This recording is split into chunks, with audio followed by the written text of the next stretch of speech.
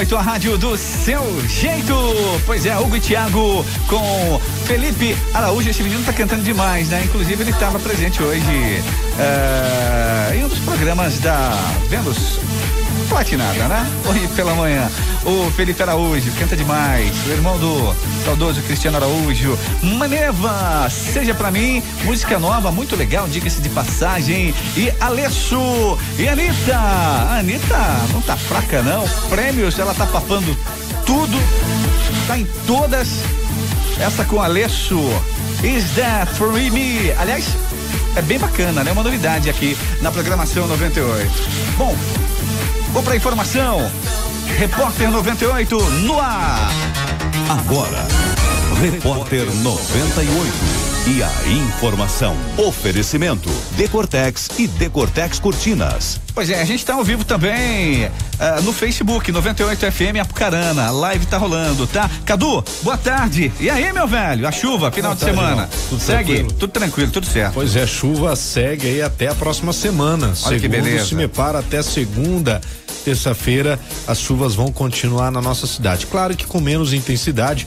Hoje está previsto aí 30 milímetros, mas eu acho que já choveu bem mais que 30 milímetros, viu? Tanto de água que caiu durante a madrugada hoje pela manhã está chovendo agora. Mas foi tranquilo é, em toda a região, né? É, tranquilo, não há registros aí de temporal na região, né? Isso é o mais importante. Só para você ter uma ideia, em alguns municípios do Vale do Ivaí, inclusive o nosso parceiro Wellington Jones, o repórter do Vale, ele postou eh, em algumas cidades eh, do Vale do Ivaí devido àquele lance, né? Choveu, sobe a água dos rios e aí Sim. o pessoal fica ilhado, né? Então, na região de Grandes Rios, o pessoal não está conseguindo, sentido Grandes Rios, a Cruz Maltina, o pessoal não consegue passar por ali. Me parece que Godoy Moreira também, na região de Caloré, eh, tem algum ponto lá de eh, que o rio subiu, transbordou e aí o pessoal tem que aguardar a água dar aquela baixada Dá em virtude baixada, da quantidade de água que caiu. Essa água baixar, porque vai chover mais ainda. O pessoal se prepara. Bom, mesmo com essa chuva, dá a impressão que tá frio, mas os termômetros estão marcando, marcando aí 23 graus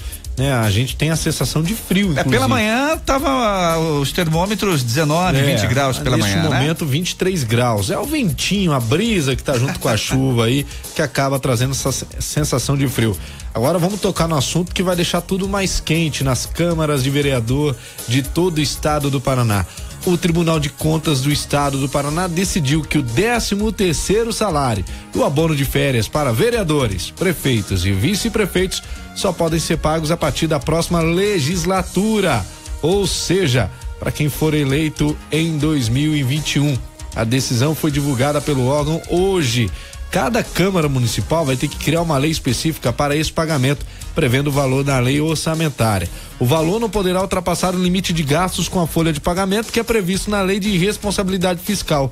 O Tribunal de Contas tomou essa decisão depois de ser consultado pela Câmara de Quedas do Iguaçu, no Oeste Paranaense, e após o STF mudar entendimento sobre o assunto. Em fevereiro, o STF reconheceu que prefeitos, vice-prefeitos e vereadores tem direito a esse benefício e também ao pagamento do texto de férias como qualquer outro trabalhador. Isso daqui é muito importante frisar, porque nós já trouxemos uma matéria há cerca de um mês e meio, dois meses atrás, no Bom Dia Cidade. A gente conversou com o jurídico da Câmara de Vereadores de Apucarana, Petrônio Cardoso, aliás, abraço Petrônio, sobre esse assunto. Porque a partir do momento que foi entendido que vereadores, prefeitos e vice-prefeitos podem ter esse benefício, de cinco anos para trás, os que foram eleitos e não estão poderiam recorrer, poderiam recorrer na justiça. Quer dizer, a atual Câmara de Vereadores, eles poderiam não aceitar agora. Se não fossem eleitos os vereadores que aí estão, eles poderiam recorrer desse direito. E os vereadores que deixaram a Câmara na última eleição, que não se reelegeram, eles teriam direito a recorrer. Então, com essa notícia aqui do Tribunal de Contas do Estado do Paraná é muito importante, porque tira o direito desses vereadores de recorrerem a essa decisão. Quer dizer, o pessoal que estava na Câmara não foi eleito, eles teriam direito de recorrer. São cinco anos de carência. Como agora o Tribunal de Contas aprovou essa lei, então não vai ter esse que para Câmara nenhuma nenhum presidente de Câmara vai arrumar pra cabeça, ele vai Ah, mas eu acho que não tinha vereador contando com esse dinheiro, né? Será que tinha vereador contando com esse dinheiro no bolso? Aí eu acho que não. É, é, a gente que acompanha o dia a dia da Câmara sabe como é que é, né? Então, tem até tinha, né? Mas, bom, vamos aguardar para ver, porque isso daqui vai dar muito o que falar, porque vai ter muito vereador e ex-vereador que vai recorrer. Né? Isso é uma decisão do Tribunal de Contas, mas muitos vereadores e ex-vereadores vão recorrer porque são cinco anos de carência que a lei permitia, né? Vamos aguardar para ver. É um assunto daqueles. Vereador, prefeito e vice-prefeito ter direito então ao 13 terceiro e o abono de férias. Vamos falar da UEL, porque a Universidade Estadual de Londrina vai realizar nesse domingo a primeira fase do vestibular 2018. São mais de 22 mil candidatos inscritos no processo seletivo, segundo a instituição. Os portões abrem a 1h20 da tarde e os estudantes terão das duas às seis da tarde para responder as questões de conhecimentos gerais. Os locais de prova foram divulgados em 19 de outubro e podem ser consultados no site da Coordenadoria de Processos Seletivos, o COPS. Neste ano, a UEL vai oferecer 2.482 vagas em 53 cursos de graduação e outras 598 pelo Sistema de Seleção Unificado SISU. O resultado da primeira fase deve ser divulgado até o dia 17 de novembro, também no site da COPS. Falando de futebol, notícia que deixou muito palmeirense triste no dia de hoje. A FIFA decidiu reconhecer como campeões mundiais os clubes que venceram o antigo Mundial Interclubes, confronto disputado de 1960 a 2004 entre o campeão sul-americano e europeu. A decisão foi tomada na manhã de hoje em reunião do Conselho de Entidade em Calcutá, na Índia. Os títulos da Copa Rio de 51 e 52 conquistados por Palmeiras e Fluminense de forma respectiva são exemplos de competições entre equipes de países diferentes que não entraram na pauta da FIFA. A entidade chegou a reconhecer o Palmeiras como campeão mundial durante o processo de organização da Copa do Mundo 2014, mas depois voltou atrás, rasgou aquele fax, né? E o Palmeiras passou a usar o eufemismo como o primeiro campeão global. Então o Palmeiras aí. Ah, peraí, mas o, o, Palmeiras não tá nessa? Não tem campeão não. mundial? O fax não valeu. Não, não tem? Não valeu. não valeu. Então aí o Palmeiras não é campeão mundial. Pois é. A partir de agora, reconhecidos pela FIFA são São Paulo, clube brasileiro com mais títulos mundiais, são três, 92, 93 e 2005. O Santos, lá na era Pelé, 62, 63, empatou com o Corinthians, que é, tem aquele torneio de verão de 2000, mas a FIFA reconhece como Mundial de Clubes. É, foi um torneio de verão. A FIFA fez média aí, deixou o Corinthians como campeão. 2012, o Corinthians sim foi merecido campeão.